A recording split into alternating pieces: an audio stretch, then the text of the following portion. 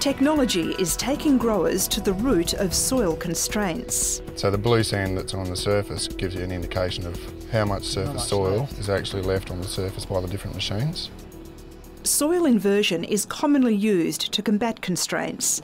But a GRDC sponsored trial in WA is helping to reveal how different implements mix the soil. We know a lot about how um, soil inversion buries weed seeds or um, changes the wettability of the surface, but we don't know how it mixes the overall soil profile, which is important uh, when you start talking about renovating a soil and including lime or clay or nutrients.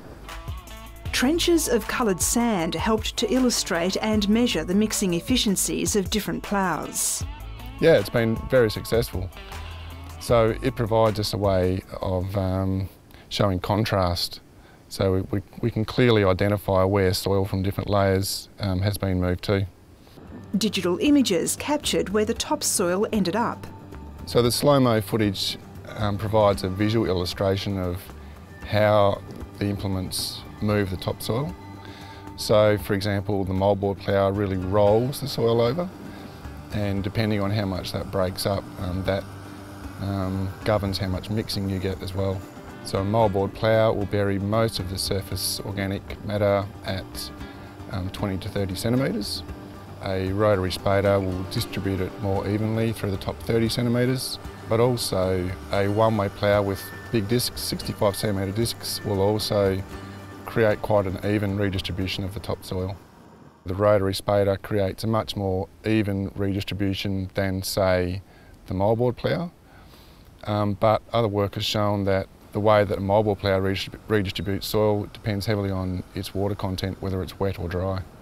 Soil management after inversion is very important and it differs depending on the implement. Say for rotary spaders that have press wheels behind them, they don't need any further management, but you may do for moldboard ploughing. Collaboration has crossed borders, with GRDC's investment enabling the University of South Australia to provide an important perspective on soil profile.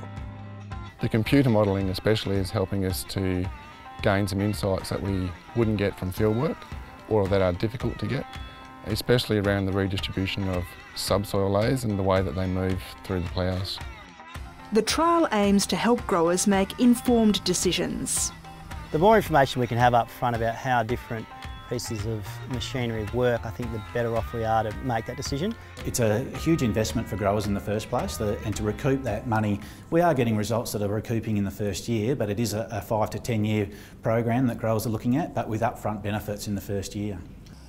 The type of benefits growers are expected to see in the long run are also being evaluated. There is a long-term site near Geraldton where the long-term benefit over eight years is about um, $400 cumulative benefit over that eight-year period for moldboard ploughing. So that cumulative benefit is about two and a half times the cost of the moldboard ploughing.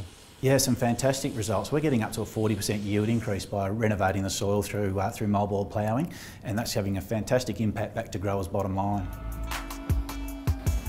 It helps fit into that decision-making process of deciding what's the best option for a particular paddock. And that's because the decision is not just about fixing the problem now, but what do we need to do to manage this paddock in the future. GRDC will publish the research and a model will be produced for growers to predict how different machines change their soil profile.